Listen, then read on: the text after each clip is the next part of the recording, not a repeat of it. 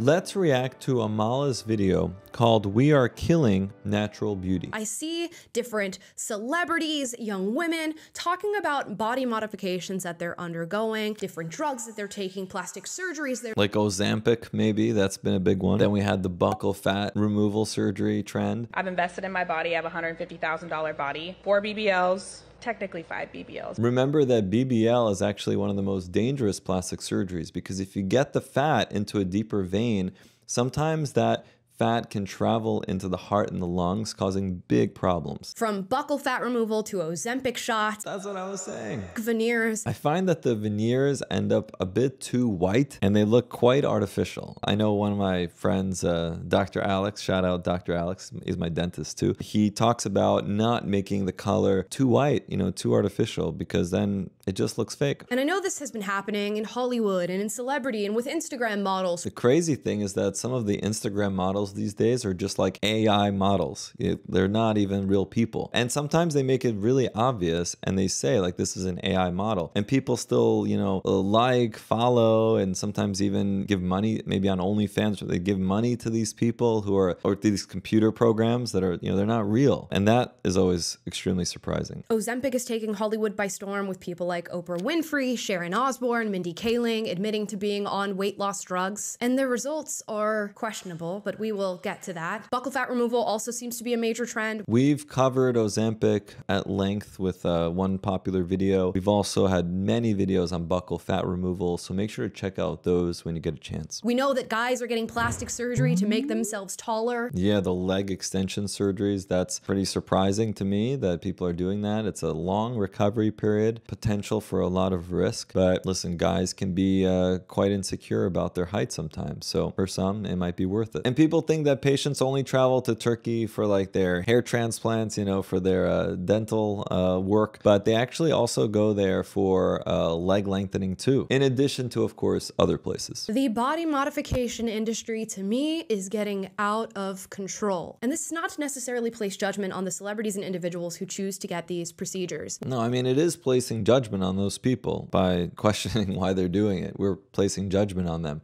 And I think that everyone has a point where they're like, okay, things are okay until you do X, right? And whether you're a plastic surgeon, whether you're just a person out there making decisions for yourself about, you know, what you know you find acceptable as far as a body modification everyone makes that decision for themselves and then potentially in my position for for patients too so i'll tell you where i draw the line um, in addition to some of the surgeries i talk about that i don't enjoy doing and that I don't, you know, fully support like buccal fat removal unless, you know, for a very narrow type of candidate. But for example, body modification when it comes to people uh, putting you know, horns in their in their face or removing digits, you know, there are people who surprisingly do this uh, what I think crazy stuff, chopping off their ears, chopping off their nose for a certain look. And this is where, um, you know, I have this problem because that's when you start to get into like functionality change. So when you're affecting function in that way, just for an aesthetic appearance, I think that's when you get into a problematic area. So so that's just, you know, kind of where I tend to draw the line. But for some people, you know, even putting on makeup is not a great way to go. Like Pamela Anderson, right, is going fully barefaced now for most uh, appearances and not even applying makeup. Is that to say that everyone who applies makeup is uh, is being fake and artificial? I don't know. Some people might believe that. Most people don't, right? So it's kind of like where do you draw that line? And it can be a very subjective, uh, personal decision. Is how flippantly people are referring to plastic surgery solutions when it comes to beauty. You think you're too fat? Just get on Ozempic. Well, remember, Ozempic um, is not plastic surgery. So just to make that clear, in general, you should definitely seek out procedures or or solutions that are less invasive first before jumping to like a surgical solution. That being said, sometimes surgery first is actually a safer and better way to go. And I know that sounds counterintuitive, but I've covered it in one video about, for example, nasal filler versus actual rhinoplasty surgery. There are situations where um, nasal filler is not the best way to start if you're trying to see how your nose might look differently with like, you know, a procedure, right? Sometimes rhinoplasty is is the better choice. And as I talk about in that video, it comes down to if you're reducing your nose versus adding volume to augment your nose. Most people who want a rhinoplasty look to get their nose a bit smaller in parts. So if you're now adding filler, you're actually making the nose bigger, even if it's a little straighter. It's not always the best way to go. Similarly, lip filler versus, for example, lip lifts, right? I do a lot of lip lift surgery, as you guys know. But many patients who come to me, they either don't want to get into filler because they know that the stuff can migrate. You can potentially get vascular occlusions with other bad problems, and they don't like that ducky type of look. So if you're looking to get some enhancement to your lip, but you want to avoid that fake appearance, oftentimes a lip lift is a nice solution, even though it's surgical and it carries some surgical risks.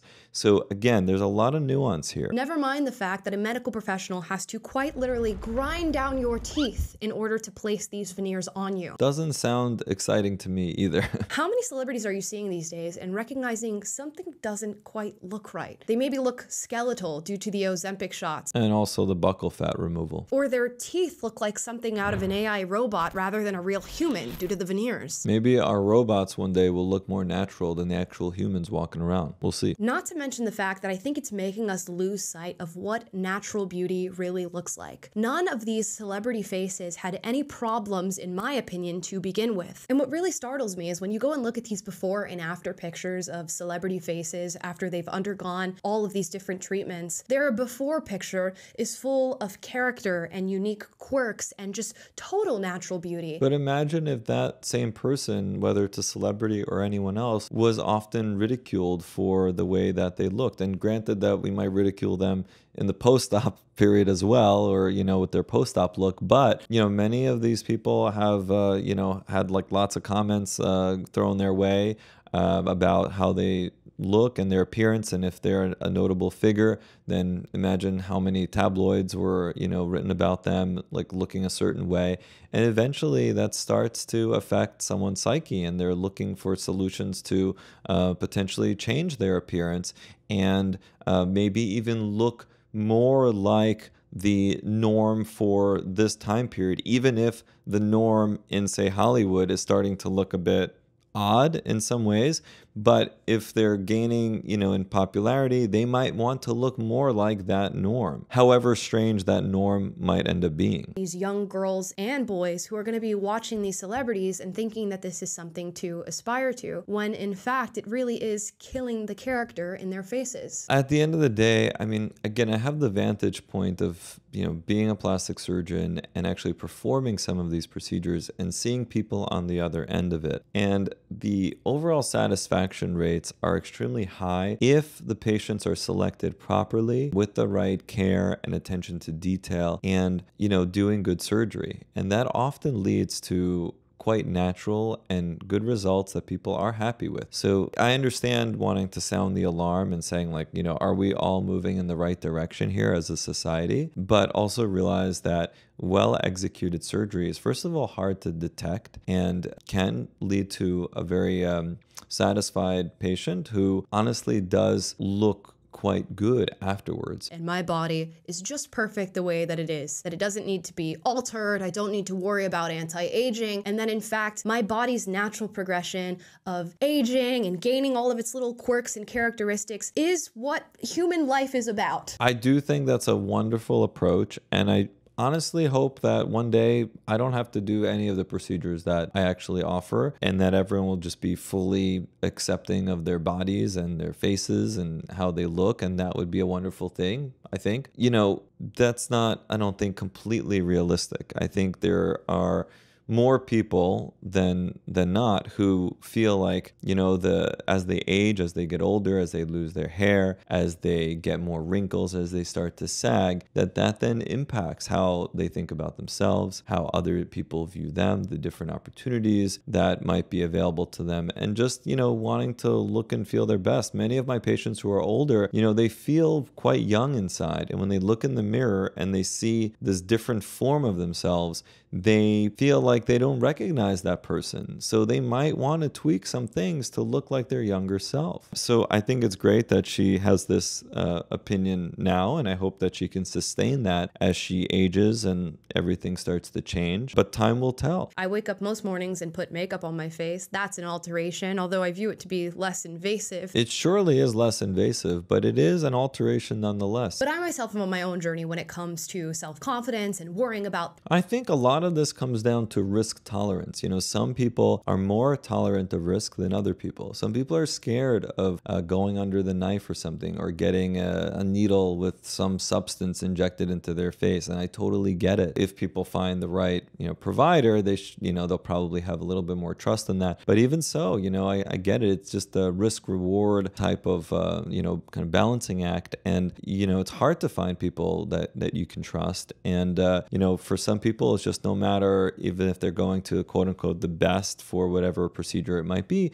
they might still be too scared to undergo that, even if they really want um, the aesthetic change. And that's a big part of this. How much risk are we willing to take with our own bodies? You have to learn to cut out the noise. I think real beauty comes in a self confidence and acceptance of oneself, but also the pursuit of a healthy mind and body. For sure, that's always going to be more critical to really accept oneself with the way you look and everything. I'll also say that I agree with her that there's a lot of uh, marketing out there. You know, people putting a lot of money, companies putting a lot of money into promoting a certain drug that they sell or a certain procedure that they offer. And um, all of that is, you know, hitting our eyeballs and, and competing for our attention online and on all these different social media apps. So, you know, there's a lot of that going on. So trying to put all of that, you know, aside and trying to really kind of like uh, grapple with yourself and figure out what do you really want, what do you really need to look and feel, mostly feel as as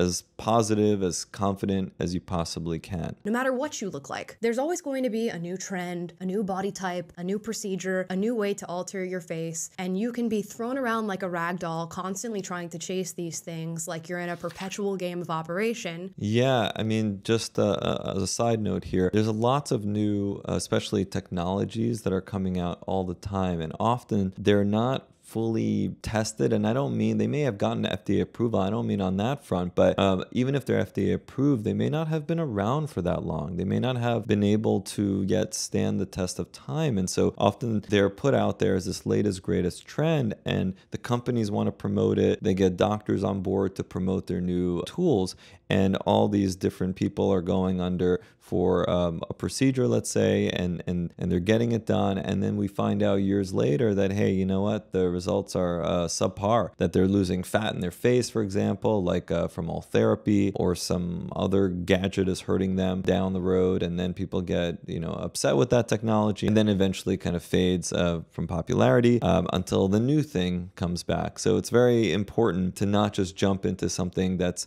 like a new technology or a new technique and to first like see how it does in the marketplace and and just uh, over over time and seeing if it's truly a safe effective way to go not just jump into it because it's the latest greatest thing And I do find it hard to believe, as much as people talk about it, that these operations truly fix the underlying insecurity that leads you to seek them out in the first place. For most of my patients, this is the case, exactly what she's saying. There's usually a more kind of pinpoint approach for patients who are doing this for, I would say, the right reasons. It's not that there's a thousand things about themselves that, that they don't like, but it's usually that there's one, maybe two things that is really bothering them. And maybe people keep pointing out that, like, hey, this person is, you know, too bald, this person's, you know, lip is too long, this person's face is just too saggy looking. You know, that when they address that, they really do feel much better about themselves. But of course, you have, uh, you know, certain people where they're abusing, you know, the plastic surgeries that are potentially available to them. And they might be addicted to that. And really, they need to look more um, inward, you know, before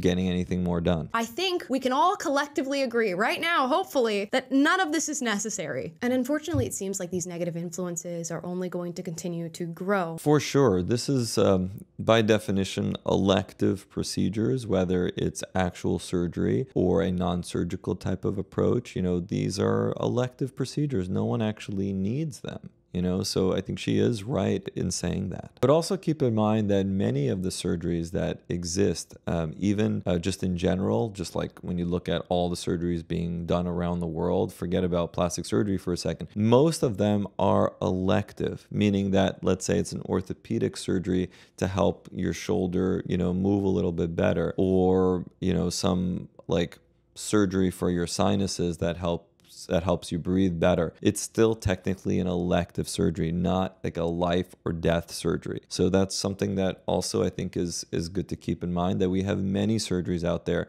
that are a little bit more for just enhancing the quality of life rather than uh, prolonging life. I think these topics about what is natural beauty and how much body modification is too much is something that's super interesting, and we need to have more discourse about these types of topics. And when I listen to podcasts, when I look at what people are actually talking about when they interview, you know, certain popular figures, this is rarely a topic that comes up, even though you do have videos such as these that bring up these topics. So I would love to have podcast style discussion with various people, including maybe some of these YouTubers, to really dive deep into what might be the reason for people wanting these various procedures and where are we going with all this? What does the future look like? I think these are super interesting topics, and I think there's a different truth for every person, and that's just kind of how it is for you know for us as individuals and i think we should talk about this more and it's something that i think is under discussed at the moment i think amala did a great job of reminding us that it's important to love ourselves and to accept our own appearance